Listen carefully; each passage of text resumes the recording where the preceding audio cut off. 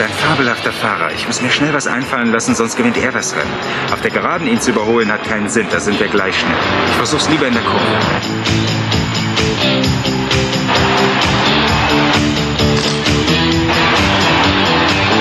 Was für ein hinreißendes Rennen. Ich bin ganz sicher, dass Onkel Michel Lindsay in der Kurve überholt. Ich auch, Rick. Michelle wird das Rennen gewinnen, davon bin ich überzeugt.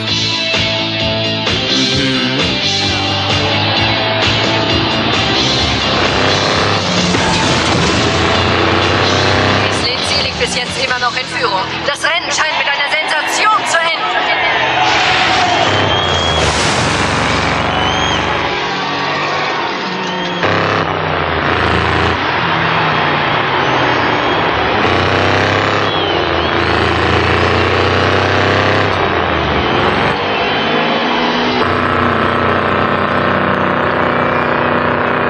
In unveränderter Reihenfolge gehen die Wagen in die letzte Kurve vor der Zielgeraden. Kommt es drauf an. Ich muss ihn jetzt überholen. Michel Vaillant setzt vor dem Einbiegen in die Zielgerade an, Ace Lindsay noch den ersten Platz streitig zu machen.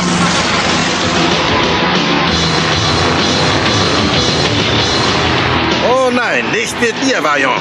Okay, er hat meine Absicht durchschaut. Dann wollen wir mal.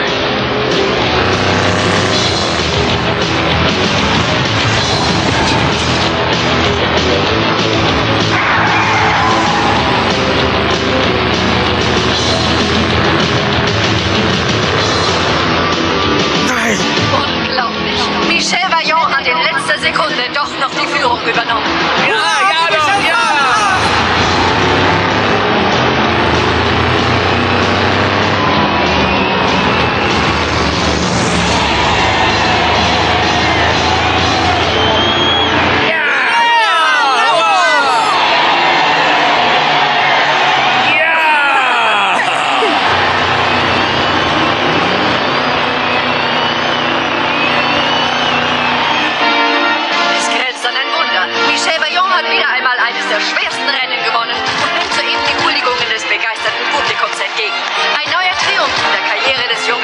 Aus dem Vaillant. Auch von hier aus. Herzlichen Glückwunsch, Michel. Wir alle sind stolz auf dich. Du bist ein super Rennfahrer, Onkel Michel. Es war einfach Spitzenklasse, wie du Lindsay doch noch gepackt hast. Lindsay ist ein ausgezeichnetes Rennen gefahren, aber das Glück war nicht auf seiner Seite. Deshalb habe ich gewonnen. Oh, oh, da kommt Mr. Lindsay.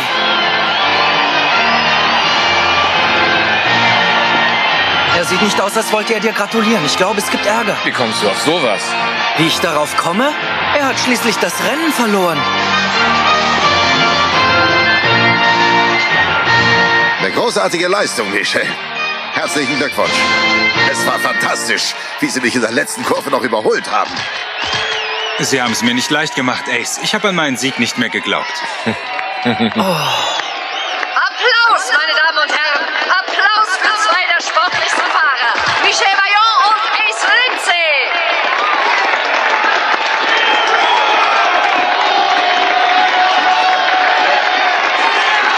Ich verstehe das einfach nicht, Großvater. Onkel Michel hat Ace doch besiegt. Ist er denn kein bisschen böse auf ihn? Er ist sicher enttäuscht, dass er das Rennen nicht gewonnen hat. Aber er ist ein Profi. Er hat getan, was er konnte und er respektiert seine Gegner.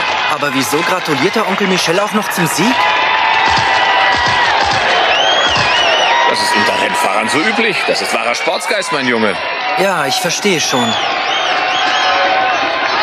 Wenn sich doch nur meine ehemaligen Schulkameraden auch so fair verhalten würden.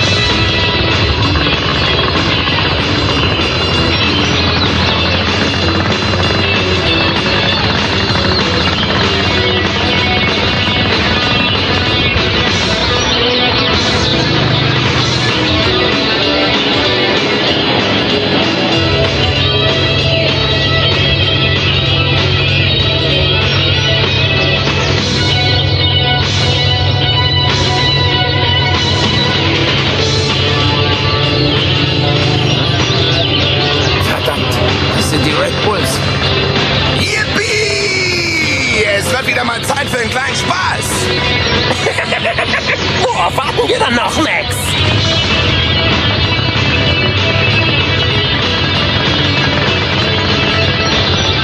Warum musste ich ausgerechnet auf die treffen?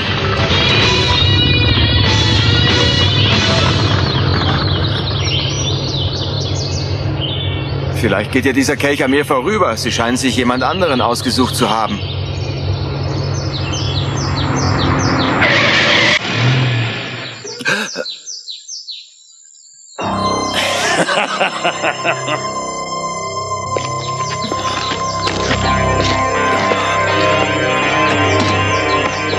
Immer mit der Ruhe, Bulls. Ich mache bestimmt keinen Ärger. Hey, Bobby, hast du das gehört? Der Spießertyp weiß, wer wir sind. Da siehst du mal, wie berühmt unsere Gang ist, Judd. Das freut uns aber, du Milchbubi. Ich weiß eigentlich gar nicht, wer Sie sind, aber ich möchte wirklich keinen Ärger machen. Wer hat denn was davon gesagt, dass es hier Ärger gibt, du Penner? Wir sind nichts weiter als drei harmlose, durstige Jungs.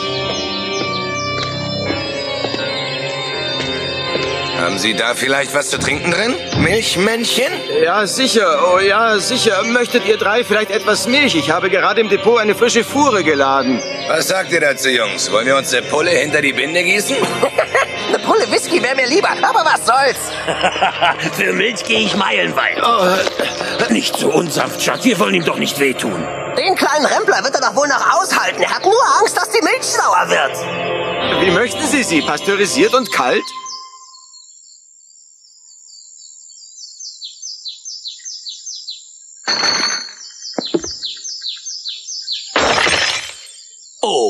Das ist mir aber sehr peinlich. Versuch du doch mal eine zu fangen, Bobby. Hey, was soll das, Max? Na nu, was ist denn mit dir los? Wir wollten noch ein bisschen Spaß haben mit dem Milchbubi. Willst du etwa kneifen oder was? Nein, ich will doch nicht kneifen. Gut. Wirf Bobby eine Flasche zu. Wollen noch mal sehen, wie gut er fangen kann. Kralle auf, jetzt kommt eine Milchbombe! Yeah! Hört doch mit dem Quatsch auf, Kinder. Ich bitte euch. Wie bitte?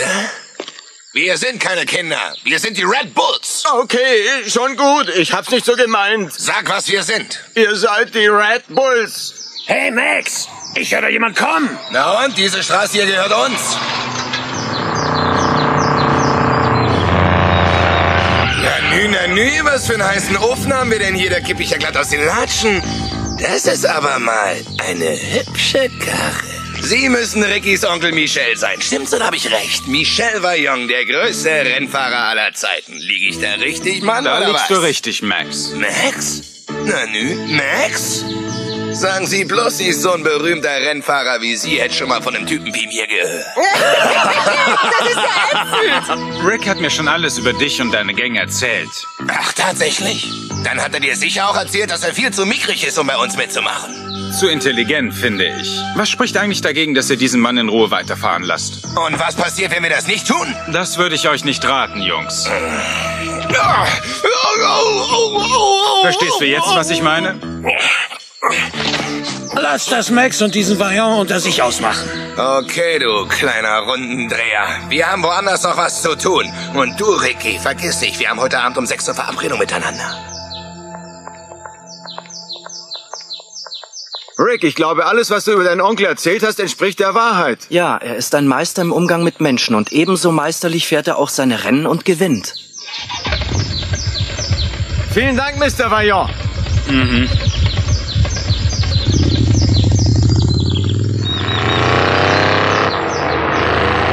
Problem ist eben, dass es in unserem Städtchen nicht genug Polizisten gibt, die etwas gegen die Gang unternehmen könnten. Als ich noch ein Kind war, ging es bei uns recht friedlich zu. Aber als Max und seine Kumpels von der Highschool geflogen sind, fingen sie plötzlich an, die Ordnung durcheinander zu bringen. Sie wollten nur noch ihren Spaß haben. Dem Milchmann seine Milchflaschen zu zerschlagen, da hört der Spaß aber auf. Ich weiß, das war sicher falsch. Keiner von den Jungs war schlecht, solange wir zusammen die Highschool besuchten. Aber in unserer Kleinstadt tut sich ja auch nichts. Sie langweilen sich, Onkel Michel. Was ist das eigentlich für eine Verabredung mit Max heute Abend? Oh, die, die ist ganz harmlos. Er wollte nur wissen, ob ich mit Ihnen heute Abend vielleicht ins Autokino gehe.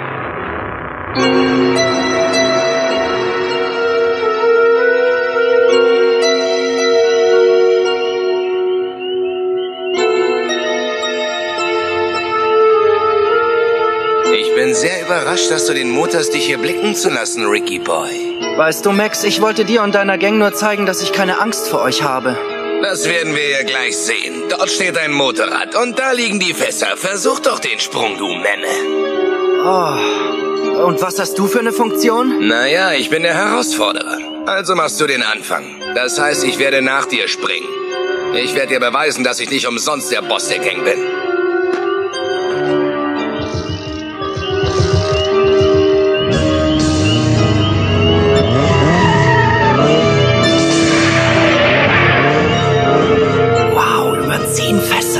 Ich habe schon viele solcher Sprünge gemacht, aber nie mehr als über fünf Fässer. Aber ich werde denen nicht die Möglichkeit geben, mich einen Feigling zu nennen.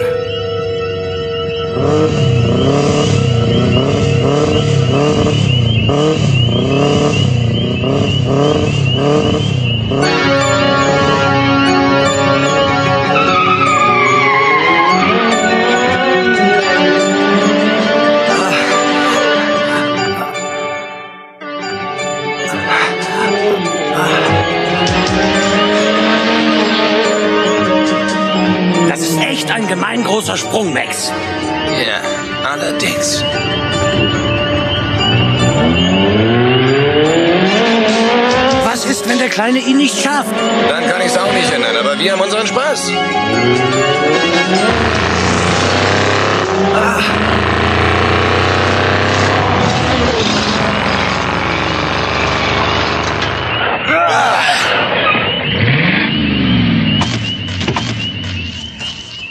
Was sollte das denn werden? Wolltest du dich umbringen oder was? Sie haben mich überredet, den Sprung zu machen. Und du, du machst wohl alles, was sie dir sagen. Ich dachte, du hättest ein bisschen mehr verstanden. Oho, der gute Onkel, wie süß. Hat er sich um den lieben Neffen Sorgen gemacht, hm? Ihr Kerle seid noch weitaus blöder, als ich's mir gedacht habe. Ah ja? Und ihr Neffe Rick hat noch weniger Mumm, als ich mir hab träumen lassen. Er wäre auch nicht gesprungen, wenn das gute Onkelchen ihn nicht in letzter Sekunde von der Rampe abgedrängt hätte. Oh, ich werde mir gleich in die Hosen machen. Hoffentlich rettet mich jemand, sonst ist das mein Ende. Du bist eben doch ein Waschlappen, Sweet Ricky Boy. Und du bist Superman, was? So was ähnliches, Mr. Vaillant. Äh? Ah.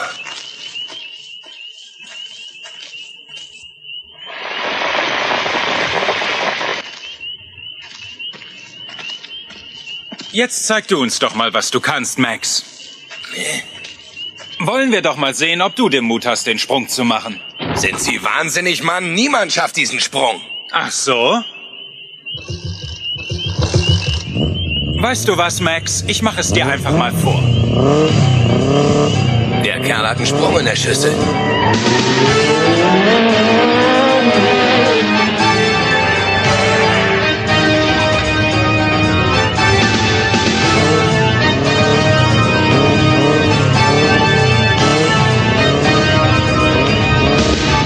Wird nichts, der Typ blafft.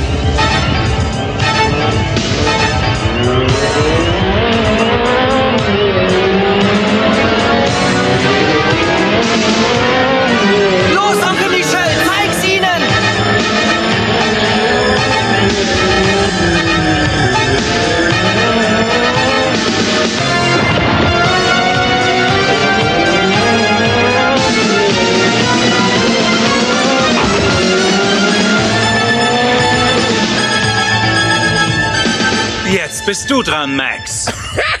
Zeig ihm, was eine Hacke ist, Max. Du kannst es. Ja, Max. Nur mach schon. Beweis es ihm. Dieser Sprung ist was für Profifahrer. Ihr wisst genau, dass ich das nicht schaffe. Ich hätte ihn keinesfalls versucht, wenn ich kein Profi wäre. Jeder Motorradsprung ist lebensgefährlich, wenn man ihn nicht trainiert hat. Und du weißt, Rick hat sowas nie probiert. Och, wir wollten doch nur ein bisschen Spaß. Kommt, Jungs, wir verschwinden von hier. Entschuldige bitte, Rick. Ist schon in Ordnung, Bobby. Wir sehen uns dann.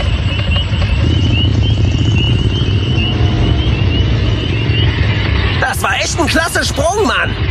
Vielen Dank, Judd. Wiedersehen.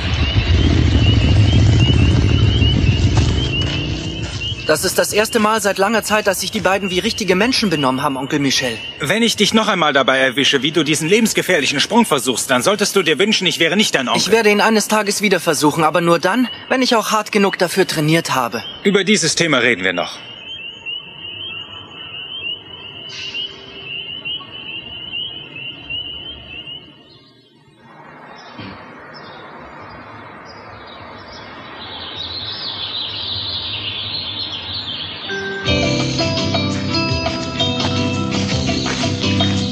Leider war es wieder mal nur ein kurzer Besuch. Schade, dass ich deine Mutter nicht getroffen habe. Sag ihr bitte einen herzlichen Gruß von mir. Sie wird es bedauern, dass sie dich nicht gesehen hat, Onkel Michel. Sie spricht sehr viel und oft von dir. Ich mag meine Schwester auch sehr, aber durch meinen Beruf sehen wir uns leider viel zu selten. Mhm. Ich fahre dir bis zur Rennstrecke hinterher. Dann kann ich Großvater auf Wiedersehen sagen. Ja, mach das.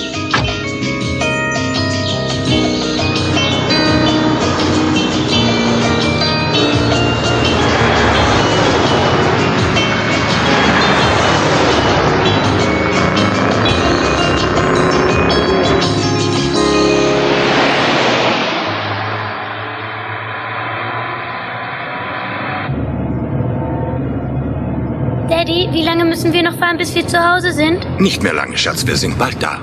Vorsicht, Daddy! Ah! Oh!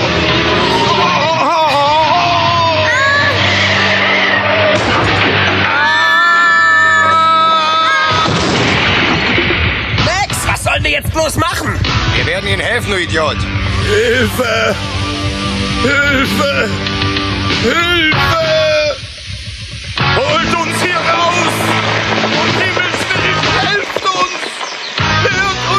Niemand? Hilfe! Max, das bringt doch nichts. Bleib hier. Der Wagen kann jede Sekunde abstürzen. Wir konnten nichts dafür. Es war ein Unfall. Wir waren... Wieder mal leichtsinnig, aber wir haben es echt nicht gewollt. Schon gut, Bobby. Habt ihr ein Abschleppseil? Ich hab eins im Kofferraum. Dann hol es schnell.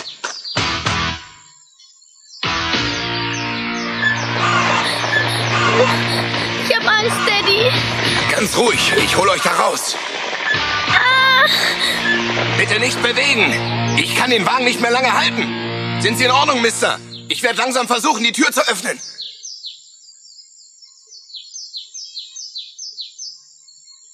Hier.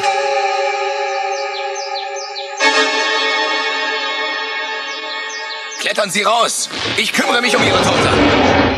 Wir stürzen ab. Nein, du wirst nicht abstürzen. Sieh mal, ich schlinge das Abschleppseil um meine Hüfte und jetzt komme ich dich holen. Festhalten, nicht bewegen, Kleine, ganz ruhig. Bleib jetzt so, wie du bist. Du musst mir jetzt deine Hand geben. Gleich werden wir es geschafft haben. Pass auf, Max, der Wagen stürzt ab.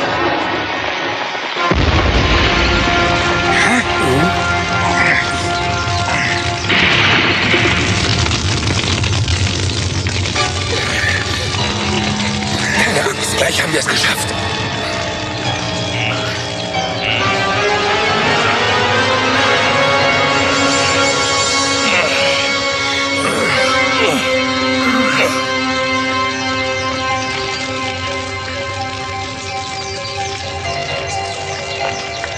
Daddy, Daddy. Kelly, mein Kind, bist du verletzt, mein Schatz? Nein, ich glaube nicht. Der Mann da, der hat mich gerettet. Danke, Mister. Ist schon okay, Schätzchen. Ich bin so froh, dass dir nichts passiert ist. Junger Mann, das war die mutigste Leistung, die ich je gesehen habe. Danke. Max, jetzt hast du bewiesen, dass du wirklich Mut hast. Ich glaube, Max, du bist auf dem richtigen Weg.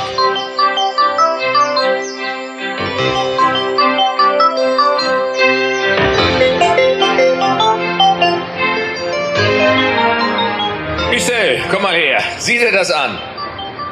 Was gibt's denn, Papst? Der Brief hier kommt von Rick. Was hat er angestellt? Gar nichts. Er fängt nächste Woche als Schüler in der Stuntman-Schule an. Er ist eben ein Vaillant, durch und durch. Er schreibt außerdem noch, dass Max, Judd und Bobby die Stadt verlassen haben. Warum denn? Sie sind auf der Polizeiakademie angenommen worden. Nach der Ausbildung wollen sie in ihrem kleinen Städtchen für Recht und Ordnung sorgen. Aha. Was sagst du dazu? Von einem Extrem ins andere. Aber wenigstens müssen sie sich nicht von ihren Motorrädern trennen. Damit wird Max Gang in Zukunft weiter existieren. Allerdings auf der Seite des Gesetzes und hoffentlich vertreten sie es gut.